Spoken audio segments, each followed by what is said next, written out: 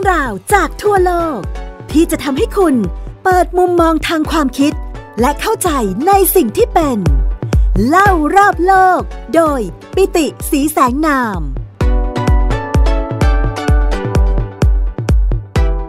สวัสดีครับ คุณผู้ฟังที่รักทุกท่านกลับมาพบกับผมปิติสีแสงนามและไทย PBS Podcast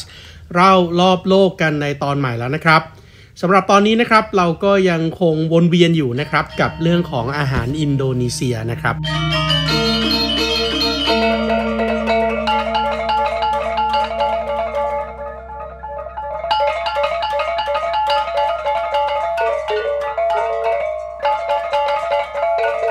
เพราะว่าผมเองก็ใช้ชีวิตที่จาการ์ตานะครับ ในฐานะที่เป็น Executive Director ของ ASEAN Foundation เนี่ยมาก็เกิน 6 เดือนแล้วนะครับ ก็มีโอกาสได้รับประทานอาหารอินโดนีเซียอยู่อย่างสม่ำเสมอนะครับ ก็เรียกได้ว่าทุกวันนะครับ แล้วก็ย่านที่พักเนี่ยนะครับก็เรียกว่าเป็นบล็อก M นะครับบล็อก M เองเนี่ยก็ถือว่าเป็นสถานีรถไฟฟ้าสถานีใหญ่นะครับ แล้วก็มีร้านค้าหลายรูปแบบนะครับ ตั้งแต่ร้านค้าที่เป็นตลาดสดนะครับไปจนถึงห้างสรรพสินค้านะครับ แล้วก็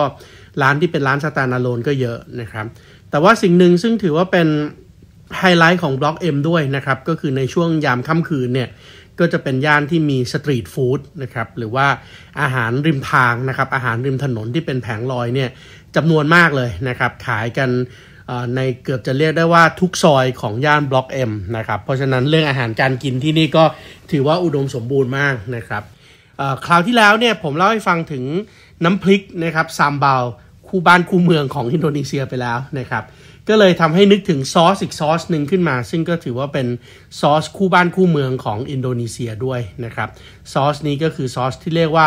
bumbu kacang นะครับ bumbu kacang เนี่ยนะครับก็คือซอสถั่วลิสงครับ ซึ่งแน่นอนเวลาเราพูดถึงอาหารอินโดนีเซียเนี่ย อาหารอย่างหนึ่งซึ่งถือว่าเป็นสัญลักษณ์ แล้วก็เป็นอาหารประจำชาติของอินโดนีเซียด้วย นั่นก็คือสเต๊ะนะครับสเต๊ะเนี่ยก็เป็นอาหารจำพวกเนื้อสัตว์นะครับที่เสียบไม้แล้วก็ย่างนะครับเป็นบาร์บีคิวแต่ว่า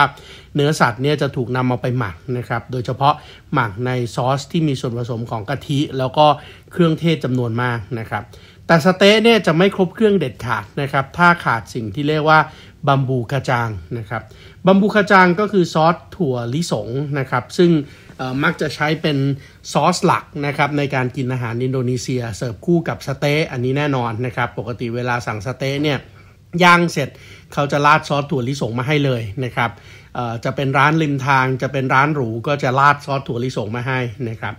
นอกจากนั้นแล้วนะครับอีกอย่างหนึ่งนะครับที่ถือว่าเป็นอาหารประจำชาติของอินโดนีเซียด้วย แล้วคนไทยก็รู้จักกันดีนั่นก็คือกาโดกาโดนะครับกาโดกาโดเนี่ยก็คนไทยจะรู้จักกันในนามของสลัดแขกนะครับสลัดแขกเนี่ยก็จะประกอบไปด้วยผักหลากหลายชนิดถูกต้องไหมครับ ที่มีทั้งเป็นผักลวกแล้วก็ผักสดนะครับเสิร์ฟมาคู่กับสิ่งที่ขาดไม่ได้เลยก็คือถั่วงอกนะครับแล้วก็เต้าหู้ จะเป็นเต้าหู้ทอดหรือว่าจะเป็น เต้าหู้ที่เป็นเต้าหู้นึ่งก็ได้นะครับ แล้วก็มักจะคลุกแล้วก็ราดด้วยน้ำซอสที่เป็นซอสถั่วลิสงนะครับ ที่เรียกว่าซอสบัมบูคาจังนะครับ นอกจากตัวของกาโดกาโดนอกจากตัวของซาเต้แล้วนะครับ อีกอย่างหนึ่งซึ่งถือว่าเป็นอาหารที่ขึ้นชื่อของอินโดนีเซียด้วยอีกอย่างหนึ่งนะครับเขาเรียกว่าคาเรดกนะครับคาเรดกเนี่ยก็ถ้าเทียบกับอาหารไทยก็คือยำนะครับ ยำของคาเรดกเนี่ยจริงๆ แล้วถือว่าเป็นอาหารจำพวกที่มีพื้นถิ่นมาจากทางด้านช่องแคบซุนดานะครับ ช่องแคบซุนดาเนี่ยก็จะอยู่ระหว่างเกาะชวาทางด้านตะวันตกนะครับ กับเกาะสุมาตราทางด้านตะวันออกนะครับ ตัวของคาราดกนะครับมันจะลักษณะคล้ายยำเพราะว่าอะไรเพราะว่าเขาจะมีการใส่น้ำมะนาวนะครับ ใส่ตัวของเออเขาเรียกอะไรล่ะ ตัวของตะไคร้นะครับ ซอยลงไปนะครับ แล้วก็คลุกกับเนื้อสัตว์ แล้วก็ผักชนิดต่างๆนะครับ หลายๆ ครั้งเนี่ยนะครับจะมีการใส่ถั่วฝักยาวนะครับ มีการใส่ตัวของบีนสปราวหรือว่าถั่วงอกนะครับ แล้วก็แตงกวาแล้วก็ที่ขาดไม่ได้เลยก็คือใบโหระพานะครับ จะมีใบโหระพาหรือใบกะเพราเนี่ยคลุกไปด้วยนะครับ แล้วก็คลุกโดยใช้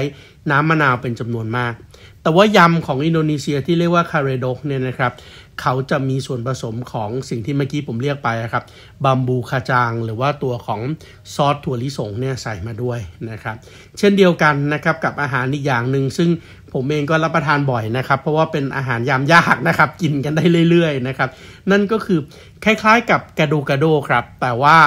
มันเป็นผักสลัด ที่เราเรียกว่าสลัดแขกแบบนั้นแหละนะครับ แต่ว่าคลุกกับข้าวมาเลยนะครับ เอาข้าวมาใส่ลงไปในนั้นเรียบร้อยนะครับ แล้วก็จะมีถั่วหมักนะครับ แล้วก็ลักษณะเด่นของปาเจลเนี่ยก็คือมันมักจะไม่ได้เสิร์ฟในจานนะครับ แต่ว่ามักจะห่อมาเป็นข้าวห่อครับลองนึกถึงห่อข้าวแบบห่อข้าวมันไก่ เวลาเราสั่งข้าวมันไก่กลับบ้านอะ่ะเขาจะห่อด้วยกระดาษที่เป็นกระดาษสีขาวๆนวลๆด้านหนึ่งใช่ไหมครับ แล้วก็อีกด้านหนึ่งเนี่ยก็จะ เป็นคล้ายๆกับเคลือบพลาสติกกันลื่นเอาไว้ หรือว่าเป็นไขไว้นะครับ ข้างในเนี่ยเขาก็จะห่อไปด้วยผักที่เป็นผักลวกนะครับ อันนี้ไม่มีผักสดละ เป็นผักลวก มีข้าวนะครับ มีตัวของถั่วหมักที่เรียกว่าเทมเป้นะครับ แล้วก็ราดด้วยซอสถั่วลิสงนี่นะครับ แล้วก็มัดด้วยหนังยางไว้นะครับ แล้วก็พอถึงเวลาก็ไปซื้อกินได้นะครับ ถุงหนึ่งหรือว่าห่อหนึ่งเนี่ยนะครับ ก็ ราคามาตรฐานก็อยู่ประมาณถูกมากนะครับ ก็คือ 10,000 รูเปียคิดเป็นเงินบาทก็ประมาณ 20 บาท เพราะฉะนั้นตัวที่มันจะเป็นตัวชูโรงเลยนะครับของตัวของซอสชนิดนี้ที่จะทำให้รสชาติอาหารอร่อยเนี่ยก็คือตัวของบัมบูคาจังนี่แหละบัมบูคาจังนี่เอาเข้าจริง ๆ ก็ถือว่าไม่ได้เป็นของที่เป็นอาหารดั้งเดิมพื้นถิ่นแท้จริงของอินโดนีเซียนะครับ เพราะอะไรเเพราะว่าวัตถุดิบหลักที่ใช้ในการทำไอ้บัมบูคาจังเนี่ยก็คือถั่วลิสง ถั่วลิสงไม่ใช่อาหารหลักของเอเชียตะวันออกเฉียงใต้นะครับ ถั่วลิสงเนี่ยเป็นพืชที่เพิ่งถูกนำเข้ามาใหม่นะครับ มีพืชหลายชนิดเลยนะครับที่ถูกนำเข้ามาใหม่จากทางด้าน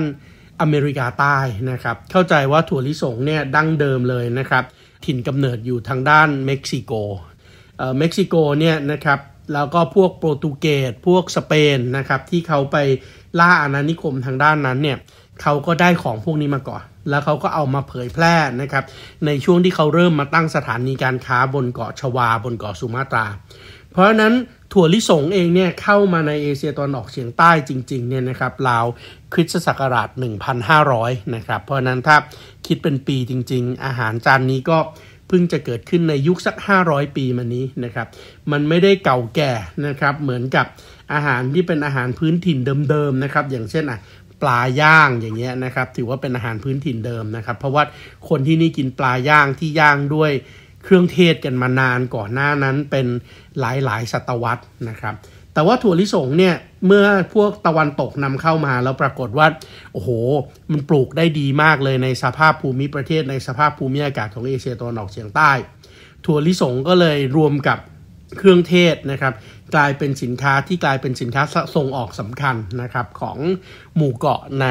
คาบสมุทรที่เราเรียกกันว่าหมู่เกาะอินโดนีเซียนะปัจจุบันนี้นะครับประเทศไทยเราเองก็รับถั่วลิสงเข้ามาจากทางด้านของ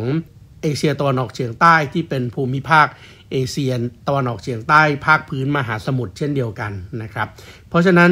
เวลาเราพูดถึงพวกนี้ถั่วต่างๆนะครับ ก็เรามักจะรับเข้ามาจากพ่อค้าที่เป็นพ่อค้ากลุ่มที่เป็นพ่อค้ามาลายูแถวนี้นี่แหละครับพ่อค้ามาลายูแถวนี้ในอดีตนะครับ เราก็จะเรียกเขาตามที่พวกเขาเรียกกันตัวเองนะครับ เวลาเขาเรียกกันเองเนี่ยเขาจะให้เกียรติกับคนที่เขาเรียกด้วยนะครับ เพราะนั้นเขาก็จะเรียกคนที่เขาเรียกด้วยด้วยคำว่าพี่ชาย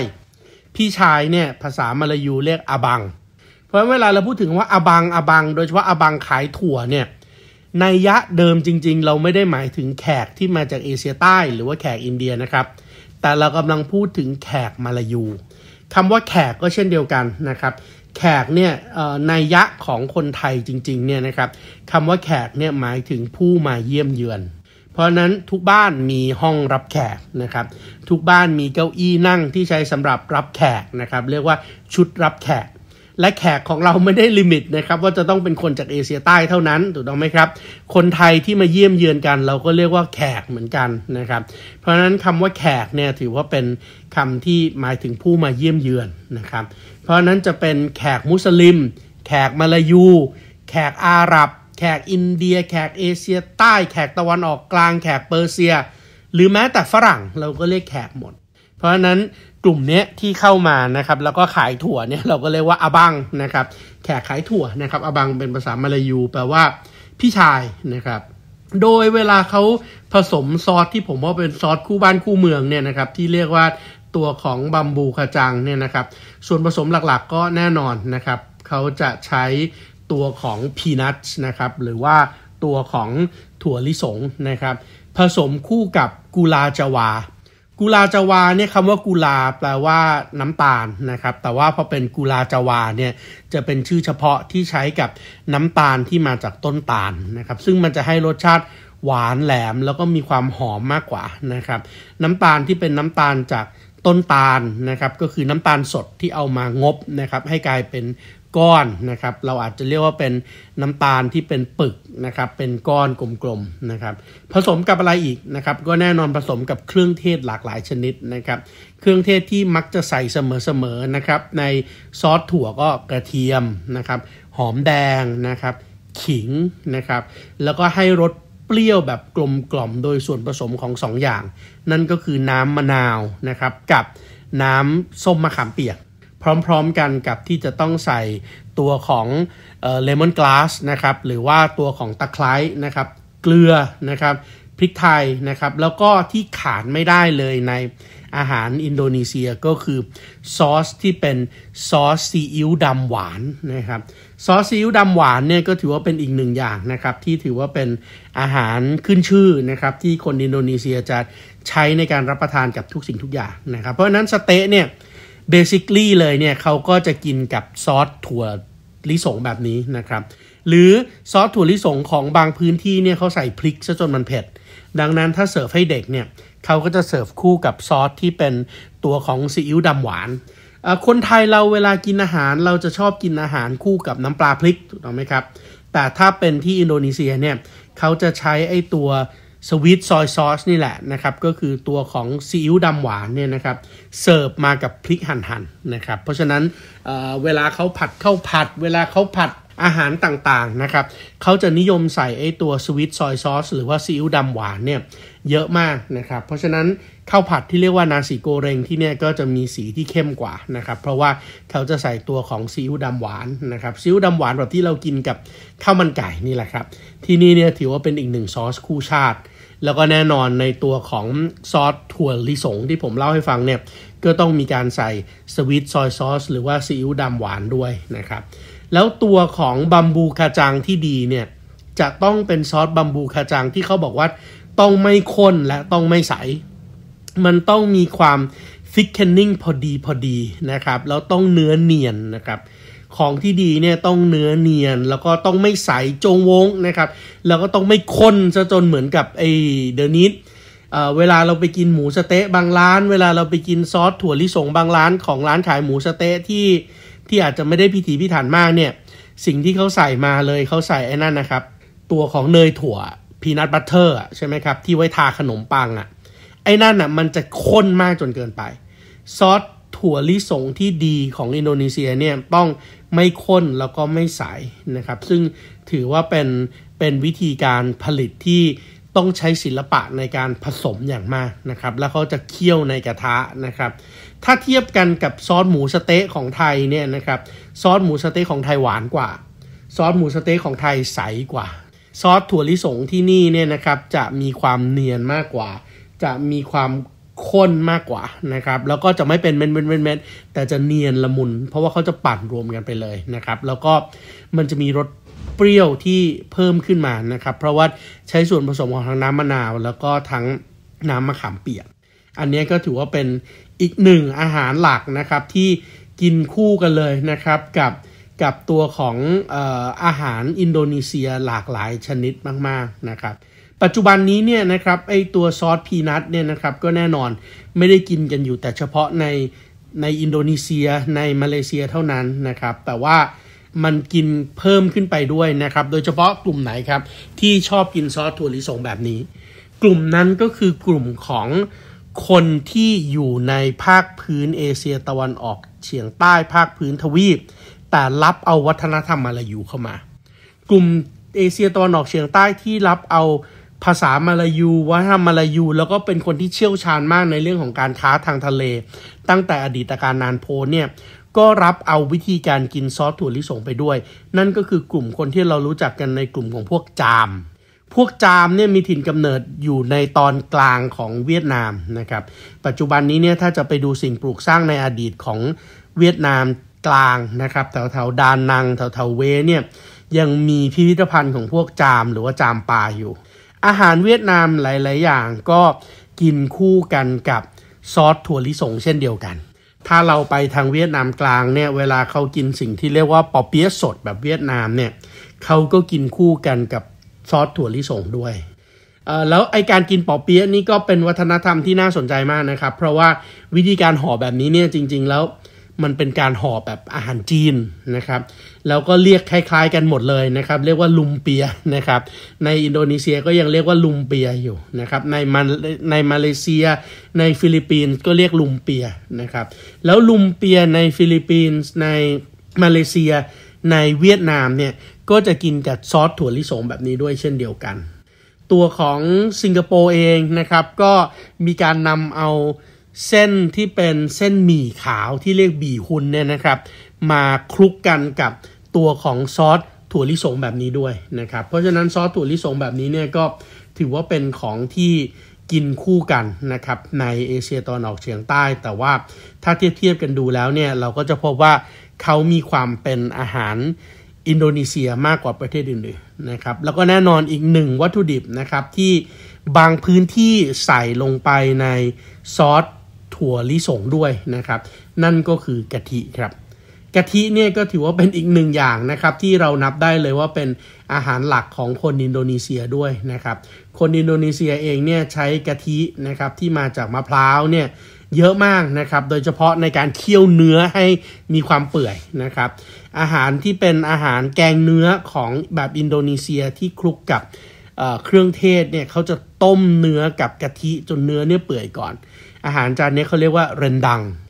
เรนดังนะครับหรือว่าตัวของเครื่องแกงเนื้อที่เอาเนื้อวัวนะครับหรือว่าเนื้อควายเนี่ยไปหมักในกะทิจนมันจนมันนุ่มนะครับแล้วค่อยเอามาผัดกับเครื่องแกงนะครับ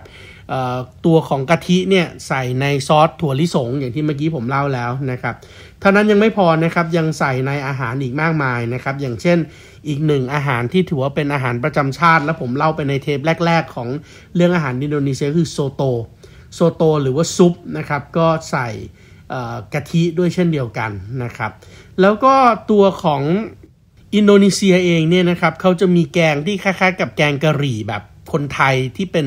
เสิร์ฟในย่านร้านอาหารจีนน่ะเขาเรียกกุไลแกงกุไลเนี่ยนะครับจะคล้ายๆกับแกงที่เราเรียกว่าเป็น